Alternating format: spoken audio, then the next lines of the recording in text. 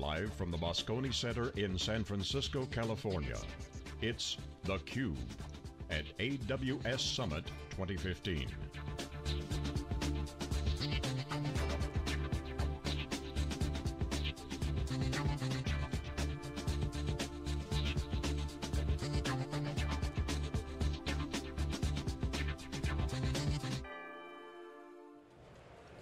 Everyone. You are watching theCUBE live in San Francisco for Amazon Web Services Summit. I'm John Furrier, the founder, SiliconANGLE, my, my co-host Marc Farley. Our next guest here is uh, Matt Wood, the General Manager of the Data Science team at Amazon Web Services. Welcome to theCUBE. Thanks, hey. great to be here. Looking great in your suit there, Thank looking good, no tie, he's got the tie over here. That's a great tie, by the way. Oh, you can have it. it's yours. okay, all pleasure said. Let's tell me about the machine learning. Let's get right to it. Yeah. Go so, there. So data science, I mean, obviously, great announcements today. Congratulations, Andy. Thanks. You know, you can tell he's excited about the sports, the MLB app, yeah, and right. then all the, the new stuff. Uh -huh. One of them was machine learning. Yep. Clearly data data is big, we heard Splunk on earlier. Mm -hmm. Internet of Things is pouring a ton of data, people using the cloud to spin up and get all that data exhaust, get all that data, not only that's out there in the Internet of Things, but like from apps. Sure. So what is going on for your group? Describe what you do. You're the GM of data science. Quickly tell us what that is. Sure. And then we can go to some questions about Sure, no, I'd be happy to. So um, if you if you rewind uh, three to five years, um, the role of data was very different inside organizations. It's very different inside governments. It's very different inside academia. And what was going on was because uh, there was data being generated at sufficient scale that collecting it, computing against it, and then collaborating around it was starting to become challenging. And the truth was that the cost of generating data was becoming lower and lower, and the economics therefore became favorable that more data was going to be generated. Now, the risk there and the challenge that a lot of companies ran up against was that um, they had large data centers, um, but the walls of those data centers couldn't move. The resources allocated inside those data centers couldn't change. Uh, they were effectively frozen in time. And so what happened was they would collect this data and then their infrastructure started becoming a rate limiting step in how they could use that data. Uh, you know, particularly as a lot of data analytics with the rise of Hadoop and, and similar software platforms uh, has become a lot more experimental. Customers want to take data, they want to aggregate it in various different ways, and then they want to play around with it and experiment with it to see what they can do, and then take a lot of those ideas and put them into production. So it's very challenging for an organization to be able to um, take that data and experiment with it in a constrained environment. So what's happened with the cloud today is that- By the way, in a time period of what? Weeks, days, months, hours? The time period of experimentation? Yeah, and inside the data center, it would take longer for It would take much longer, because, and in some cases you couldn't even do it. Because what happened was customers would start to frame their questions of what they wanted to do with their data, not on the questions that they wanted to answer, not on the challenges that their business was facing, but on the resources, the arbitrarily limited resources that they had available in their data center. So they Yeah. frame the question based on the amount of cores. You've already lost. You've Right, already exactly. lost again. Yeah. Uh, so, you know, when you go from that to thinking much more about a data center whose walls can move, uh, you can store any amount of data, you can ask any question, and anybody gets to focus more on the questions that they want to ask and the answers that will impact their business instead of spending a whole lot of time feeling artificially constrained. So the cloud moves those constraints and it allows people to do a lot more with their data and be a lot more productive with any data that they do have. So talk about what's going on here inside the stack, because obviously the evolution of Amazon is pretty amazing. Just Mm -hmm. more and more features being load, launched and launched and launched. That's right. Basic building blocks. Now you're filling in the gaps. We saw Kinesis last year, Redshift, yep. fastest growing service in Amazon history. Uh, machine learning comes out this year as one of the announcements, one of the many mm -hmm. big ones. There's three big ones. This is one of them. Mm -hmm. Describe machine learning as a service. Sure. Um, so what, what does it mean, and how do I use it? How do I get on board? Sure, that's good, all good questions. Um, so one of the trends that we've seen is that as these as these constraints have started to melt away, more and more developers are interacting with data on a day-to-day -day basis. And they're doing that in three basic ways. Number one, they're using data warehousing and Hadoop to look retrospectively at what's happened on their platform. So they're doing log analysis, they're using things like Splunk for analysis of, of, of operations and everything you can think of. But it's all retrospective, it's what's happened in the past. With things like Kinesis, which is a real-time data streaming application, um, they're able to look at the real time. They're able to build dashboards, they're able to see what's happening on their game, on their mobile app in real time, what's happening right now. But the third area is what's going to happen next. How can we make predictions on what hasn't happened yet? And one way you can do that is you can build predictive models using machine learning. And machine learning is just a way of identifying patterns in large amounts of data and then using those patterns to um, predict um, what will happen next with data, We're applying those patterns to, to new data that you haven't seen yet. And what we've seen is that developers have a huge opportunity. They've got a lot of data on AWS. They want to be able to use for prediction. Uh, but there's a very high barrier of entry to using that data. They have to learn all about algorithms and data transformation, and they have to worry about scale and production systems, and a lot of that isn't in their wheelhouse. So the activation energy is sufficiently high that machine learning just doesn't get used. So what we did today was we announced uh, Amazon Machine Learning, which is a fully managed machine learning service specifically geared towards developers. So it helps developers focus on working with their data. It connects directly up with data that's already in Redshift, S3, and RDS. And then it has a collection of visualization and interpretation tools, which allows you to experiment with and very quickly understand, and then build, model, train, and validate machine learning predictive models. So you built in some, some algorithms basically into the stack mm -hmm.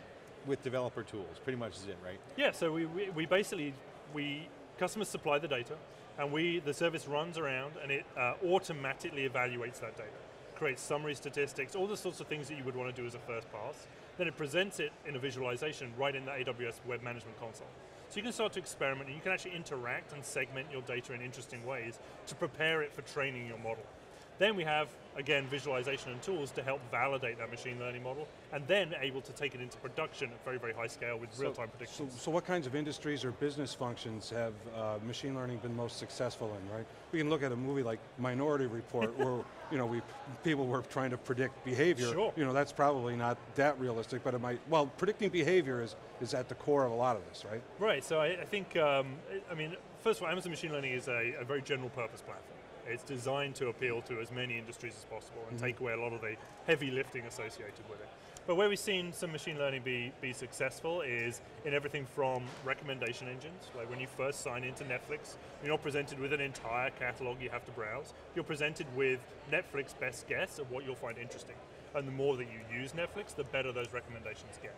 So you can do things like recommendations. Uh, you can use it for speech analysis. Uh, so using a service like Amazon Echo, which is a connected speaker, connected device, uh, and you interact with it purely by voice. So you just say, hey Alexa, play me uh, Foo Fighters.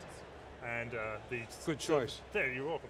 Uh, and what, what Alexa will do is it'll take that speech, it'll convert it to text, and then it'll infer, using these sort of predictive models, what it is you really want it to do, and it'll go off and find your Foo Fighters album and start playing it for you. So speech recognition is one example. We also use it in fulfillment at Amazon.com, uh, using it for vision to power vision systems. Uh, so inside our fulfillment centers, we need to be able to take inventory from trucks, physical trucks, and move that physical inventory from the physical truck into our fulfillment centers. So what we did was we want to make that as, as efficient a process as possible for obvious reasons.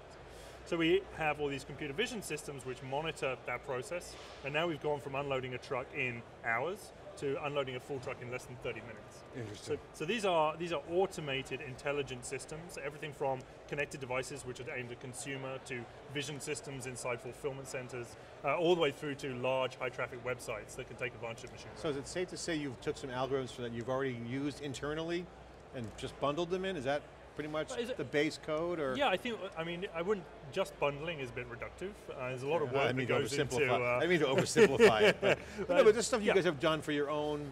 Yeah, we stuff. took all of our experience of delivering this stuff in an easy to use environment at scale, uh, and we basically do we do binary classification, yeah. so male or female. Uh, we do category classification, horror or comedy, and then we do regression as well. So you can look at predict an actual number, so the temperature that it'll be in your house tomorrow. Uh, so those are the three things we're starting with. Uh, they're built into the platform right now, and you can work with very, very large 100 gigabyte data sets and start plowing those into these uh, into these models to build a predictive API of your very own. So talk about developer team now. So let's the makeup. So typical developer team might not have a data scientist or a machine learning algorithm mm-hmm. developer, mm -hmm. or some might. So usually it's one guy to right. a multiple of other full stack right. developers. So what would be the role of that guy? Can they still add to the code? Yeah, How does so that's, that? That's a good question. So what we're seeing is that developers are very excited about this about this platform. Uh, I was actually just at the AWS booth, which is just behind you, John, and there's a, a queue of people waiting to ask questions about uh, Amazon machine learning, which is which is great. Um, so developers are definitely excited, but we also see that uh, you know the the sort of data scientists, those people that do have more in-depth knowledge of the algorithms, they're able to use this as a service to um, add more of their differentiated skills and remove some of the kind of undifferentiated heavy lifting. So building those summary statistics. Their, their role is in interpretation um, versus the actual deployment of a cluster to build summary statistics against hundreds of gigabytes. So it's seamless to that developer. So if It's seamless to that developer, but machine learning uh, experts will also find value uh, because they do have to do less of the undifferentiated work associated with building out their models. so the question I'm getting on um, on crowd chat is um, ex, um, supervised, unsupervised. Can you Mm-hmm. explain that? Is that does that matter in this? machine so, learning. So uh, just to explain it, there's basically a couple of different ways you can do machine learning. Uh, one is supervised, uh, where you basically have data uh, and you use that data to drive a model, and then you validate that model against your data. So this is what uh, this is what the Amazon Machine Learning Service does today. It takes a portion of your data, 80, 90% of your data, use that to train the model, and then you take the remaining section, 10 to 20%, use that to validate the model, to Hmm. test what the predictive accuracy is. Uh, and there's various different cross-validation techniques that you can apply to that. Uh, unsupervised learning is, is very different. Uh, it doesn't uh, assume any uh, foregone models, uh, and you don't need large amounts of data to train. So we're very much focused on the on the, the, the algorithms I mentioned earlier. On the unsupervised. On the supervised. Oh, you're supervised, it's- okay. it's- you're- the goal is to be able to take data which is already available Okay, and then it, provide yeah. a low friction way to start analyzing. Unsupervised is much harder because you, you pretty much It's have to harder. find your own patterns. It's, just a separate problem. Uh, it's, a, it's a different problem set. Uh, it's, uh, it, it works well for a, a subset of problems, um, but we kind of start where the meaty problem challenges are.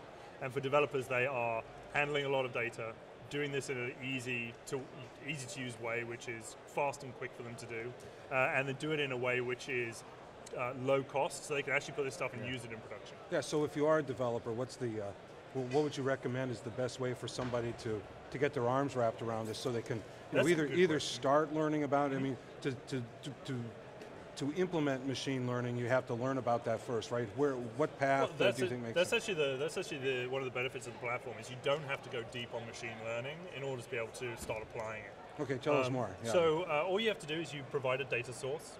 Uh, you provide that to the platform. The platform will go off and it will learn the structure of the data for you, and it'll start to make recommendations on transformations that it can do to the data to make it more applicable.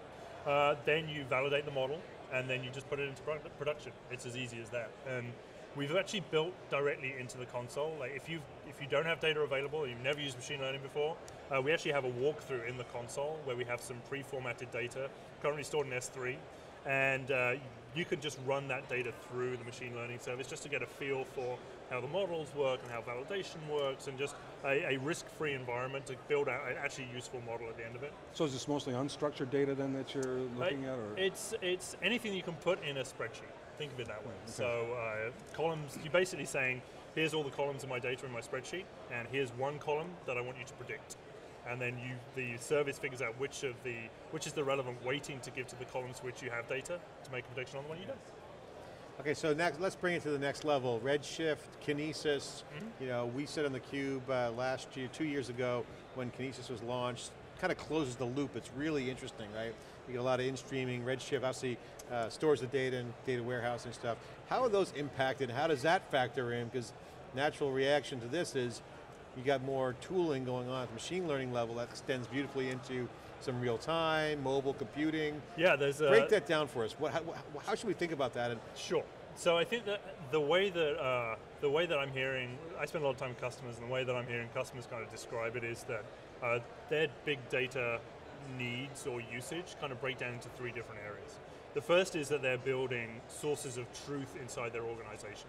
So that's a single canonical store for a particular type of data. And that may be in S3, it may be in Redshift, it may be in RDS, maybe in DynamoDB. And then right next to that, they're using uh, a lot, a lot of real time. So this is Kinesis to both collect information, do some processing, and then store the results of that processing, usually in DynamoDB or, or in Redshift, as you said. Um, and then the third piece is using large-scale distributed software frameworks such as Hadoop in order to run experiments. So uh, we think of these as task clusters. These are clusters which are specifically designed for a single task, and it may run for an hour, may run for several weeks, but it's specifically designed and configured to for a specific task. So you can get the right balance and mix of resources inside it for your task, uh, but the majority of the data resides in your sources of truth. So you have the sources of truth, you have real time on top of that, and then you have uh, kind of experimental task clusters with things like Hadoop sitting right next to it. So the kind of fourth wall on that is using that data in a slightly different way. Not just collecting it, not just storing it, not just running reports on it, but predict using it to predict what's going to happen next. And that's where machine learning fits into it. And that's why from the get-go we've integrated Amazon Machine Learning with S3, Redshift, and RDS, because those are the primary sources of truth. Yeah, yeah. And that's a real interaction relationship there. All right, so I got to ask you a personal question. Let's take your Amazon hat off, put your, you know, data geek hat on, you know, tech hat, PhD, Academic you know, hat? like, and, and, and do a like hot tub time machine back to the 80s. Oh, Okay, wow. all right? Oh my Go gosh. back to the that was a 80s, go back to the 80s, and then think about what's available in the 80s and go to today and say, what's different and what are you going after right away? What are you getting your arms around? What are you chewing on? What are you Sure. wrangling? I can. I actually have a really good example for this. Uh, I did my PhD in machine learning, and I did my PhD at the University of Nottingham in the UK. Did it for four and a half years, and in that time, I was trying to use machine learning to predict how proteins fold. Uh, so you take a string of amino acids, you stretch them out. They've just got 21 choices of the, each amino acid. You drop it into water. They always fold into the same shape, and that shape confers how they interact in the body. It's what makes your hair blonde or your eyes blue. Um, and the trouble is that you can't always get a good sense of that structure by traditional methods.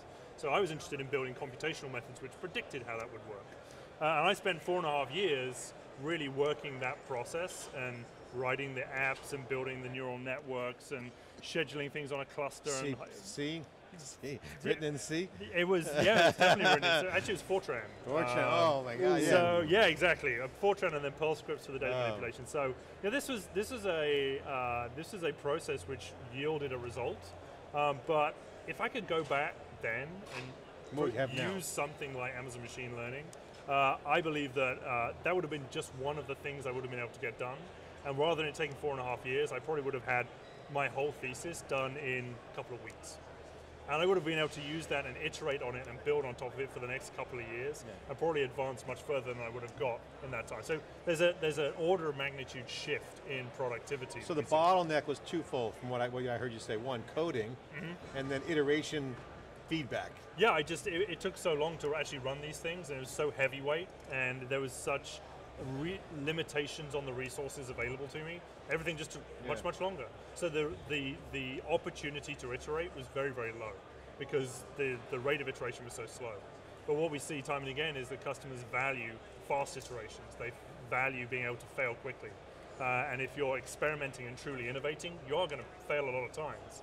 Um, so to be able to understand when that's happening and get to the next iteration, the next iteration to find the one that works, to do that as quickly as possible uh, is extremely important.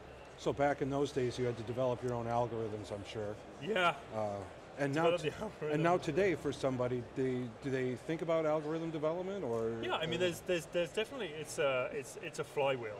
Uh, there's more and more work being done on the sort of deep algorithm development, and there's more and more uh, opportunities to apply those algorithms across everything from aerospace to retail to space exploration, you, you name it.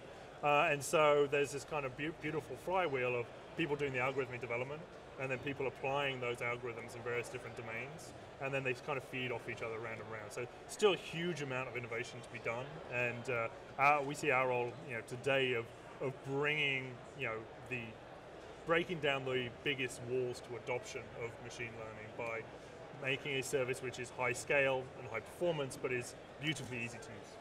So are these, uh, would somebody go to GitHub or where does somebody find, you know, the, the source of algorithms to start, you know, Yeah, I mean the, the, the computer science literature. I, I think even GitHub. I mean, there's some good stuff on GitHub. Don't get me wrong. Uh, but even GitHub is is not yet in the in the daily cycle of, of academic work. Uh, so you have to go back to the literature. You got to read the papers. Uh, you got to gen up on this stuff. And that's not that is a huge barrier to people that just want to get started with data that they've got. So time and again we hear that customers what might find that of academic interest, but they're really keen to actually use this stuff in production to make it useful inside their organization. That's the that's the sweet spot for Amazon Machine Learning. Matt, it's been great to have you on the cube. Getting the hook here, but I want to ask you one final question, throw it out there, see if you can um, wrestle this one down. Advice and commentary on the global landscape for a developer. I mean, I could be global in, in, in a second now, certainly Right. Amazon. Um, what's the data challenge globally? Um, you know, 10x uh, startup, as Marc Andreessen calls it, 10 guys who are doing work of 300, Right. which is heavy duty, full stack developers. So it's, you know, I mean, Amazon's been a great friend to the full stack developer. Sure. And now you got more stuff in there with, with uh, you know, machine learning and whatnot. The whole world's the oyster. What is the geo challenge for developers? Ah, it's, Data it's- science, me, I mean, there's a lot of stuff going on. What's super interesting, uh, John, is that the, the walls between individual geographies are melting away in the same way of the walls of the data center. Right, so we had uh, in the keynote this morning, uh, Andy welcomed up on stage uh, the CTO of AdRoll. AdRoll are an absolutely fantastic company. They do real-time ad bidding, and uh, they have a large real-time bidding platform that they have to maintain the state of across the entire world. So they operate across all of our global regions so that they have the latest bids and ad inventory available to customers all around the world, and they can deliver the recommendation of the ad retargeting to customers in a very low latency way. So they're routinely like shipping and distributing and sharing and synchronizing that entire complex platform at thousands of records every second across different regions. So to think in terms of geographic distribution is to limit the way that modern applications can be built. And things like DynamoDB streams and Lambda all help in that synchronization task and in building these truly global cloud native applications.